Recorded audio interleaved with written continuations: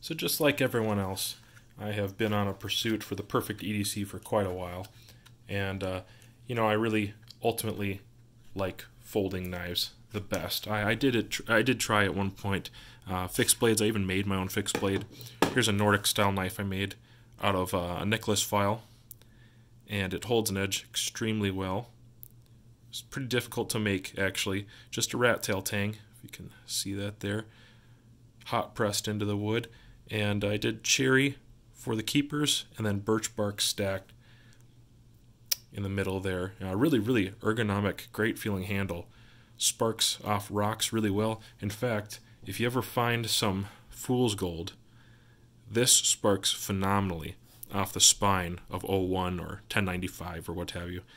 Uh, those two go really well together. But I've been on the pursuit for the perfect, perfect uh, nugget, the golden nugget.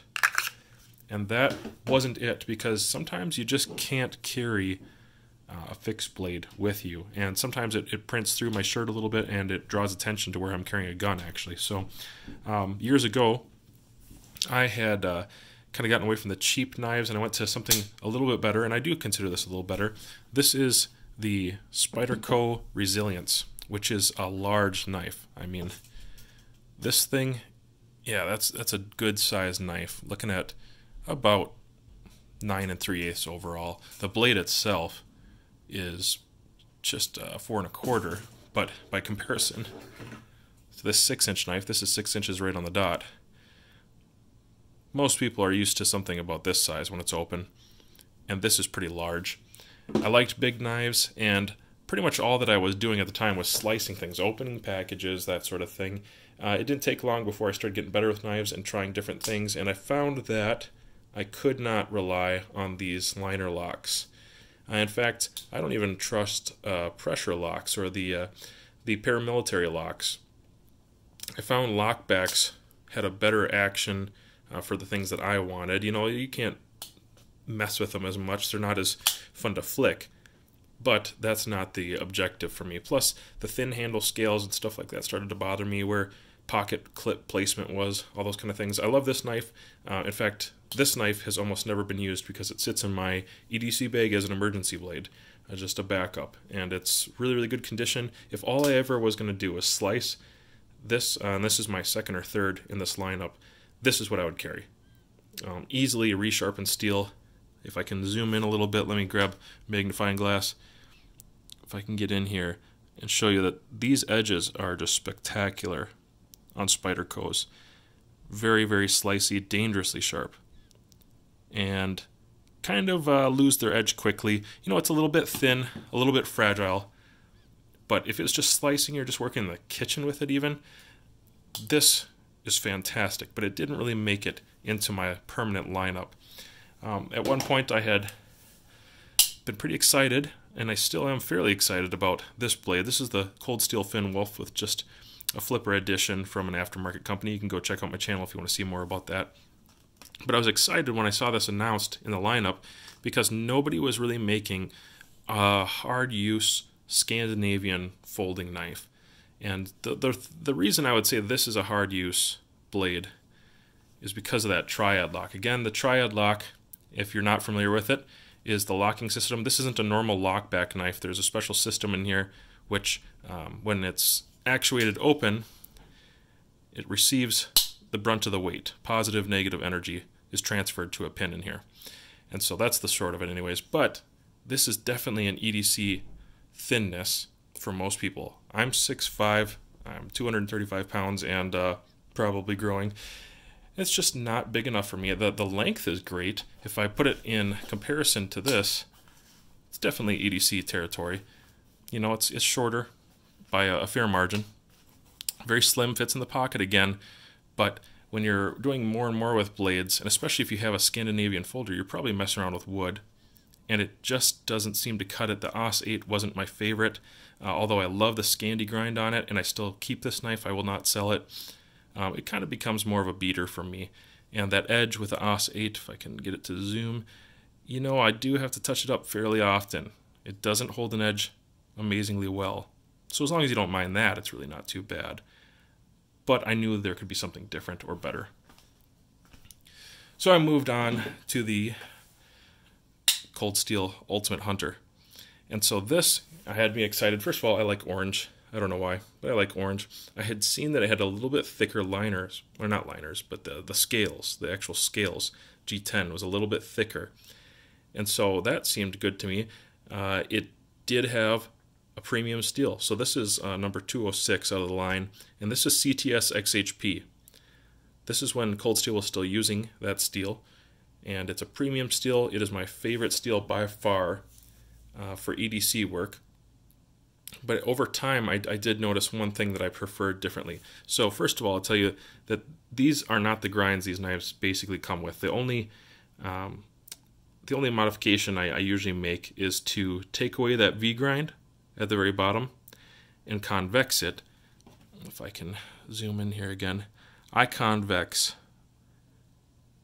most of my flat ground blades just a little bit, or the V ground blades just a little bit. I haven't done that Spyderco because it's just a slicer right now, but I kind of like and prefer having that there. And actually, there's a little bit more meat behind the edge of this blade than I liked. I wanted it thinner and still having a, convex, which sounds uh, contradictory, but it's not.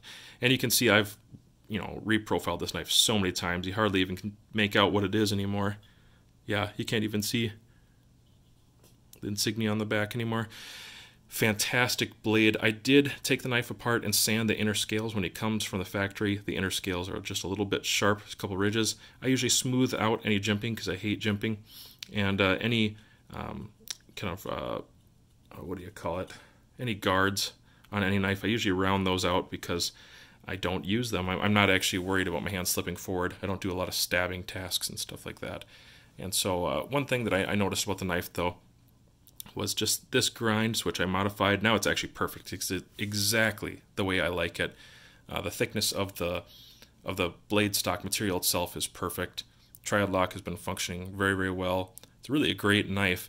Um, the handle scale, you know, it's a, it's the handle's a little long, probably for most people. It's a little long.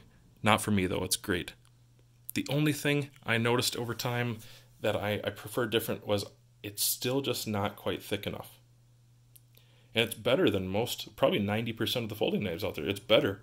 It's got a nice long handle. It doesn't have a bunch of funky grooves and here, here, you know, it has this, but it doesn't have a bunch of funky stuff. I hate knives like that because your hands never line up with them. Um, only really has the jimping that sticks out bad.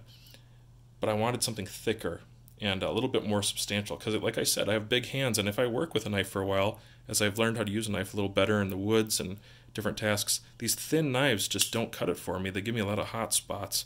Um, although, oops, although this knife, uh, it's hard to complain about it. It does pretty well.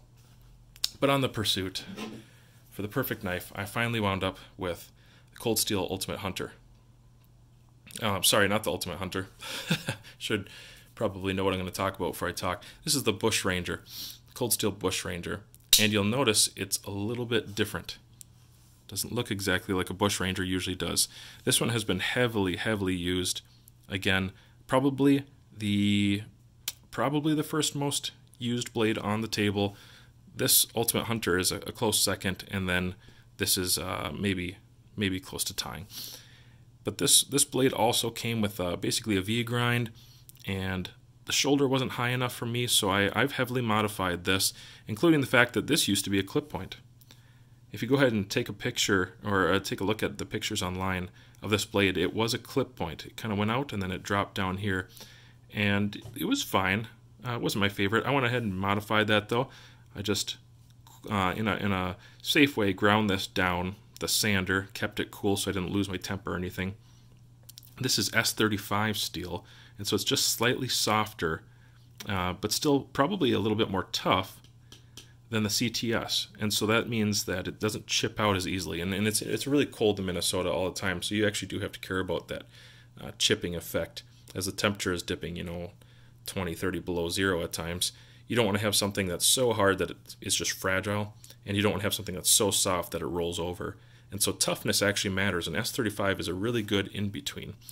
Uh, see if can Oh, you can still tell. Yeah, S35. It used to say, you know, cold steel and some other things here. Um, and I used to say Bush Ranger right in this area. but it's just been used to heck. Uh, this edge now has kind of uh, an in between between these two blades. I, have done something here. I kind of gave it a convex in between uh, convex and Scandi grind on the blade. And I found that it's exactly what I liked. It's exactly what I needed. If you can kind of see how the light is reflecting there, it does come down to a zero edge, like a Scandi would. But you can see with the light here, it's rounded. This the shoulder is kind of rounded, and that grind is basically rounded. I don't think it's going to be like a 17 degree angle like you'll see on your Moras and stuff like that, but it functions basically like a Scandi. And so since I've removed the shoulder, removed the V grind, and put it into kind of a Scandi, convex Scandi, um, and then uh, sharpen up the spine, the blade portion is perfect. It's got the pocket flipper, which I actually use, one-handed opening. I guess for some people that's a defensive measure. It's got a really nice tip. Uh, that's basically the original tip right there. That came with a clip. And I just removed a little material in there because I didn't prefer it. It actually sits flatter in the pocket this way as well. Moving on down, uh, a huge improvement was the thickness of this blade. If you can tell, this is a, you know, it's not marginal. It's it's it's substantial. It's way thicker. And for a guy with big mitts, this is kind of what I was looking for. But again, it wasn't perfect. Let me go ahead and close this. The way that it came from the factory, again, I took the scales off. This was a hard knife to take apart. Uh, for some reason, it was just very difficult. And when I finally pried it apart, I did a little bit of damage right there, just getting those scales off. The inners, the inner scales are so sharp, and for a bush ranger, a knife called a bush ranger, you really want it to be smooth everywhere. It should really be a bushcrafty kind of knife and a nice thick handle. And unfortunately, it was sharp on the insides, which uh, I guess not a big deal, but most people, the, the amount they were paying for a knife like this, you would hope it would be perfect from the factory. And really, it just had a couple things, a couple hangups here and there for me uh, to be called a bush ranger. Number one, sanding those inner scales down so smooth. Number two, um, edges, places like here and then up here. So I guess as far as preference goes, I wish it didn't have this cutout here because again, I'm not doing so much stabbing task and, and typically I hold the knife up here so it's thick enough and I get enough meat. It's almost like holding a fixed blade, truly. But this area here, uh, I took this big, awkward you know, sharp angle that it had out and just made it into this soft, rounded, and it really is soft. Uh, as well as up top, I rounded out this area here. It used to stick up higher above the flipper, and it didn't deal with, it didn't, uh, you know, compromise any strength or functionality of the blade. It just stuck up higher, and so it was uncomfortable to hold on to when you choke up on the blade. And I went ahead and sanded that down, smoothed it out a little bit. Obviously, the blade isn't like polished and all pretty like most people's knives are. I've been using it, you know, I've been using the heck out of it. And so it still retains some, you know, rugged looking uh, features, the grind lines and all that. But functionally, this is the golden nugget, okay? That's what this this is for me, is an actual golden nugget. It fits all the categories well. Uh, it's the knife I wish Cold Steel would have came out with this year. I know they had some other um, inexpensive knives that they were interested in releasing, but this knife Really, it's better than everything else they produce. I can't think of a single cold steel knife that is superior to this uh, for the Bushman's EDC. You know, maybe if you're just opening letters or something like that, this is too much knife for you. You don't care for it.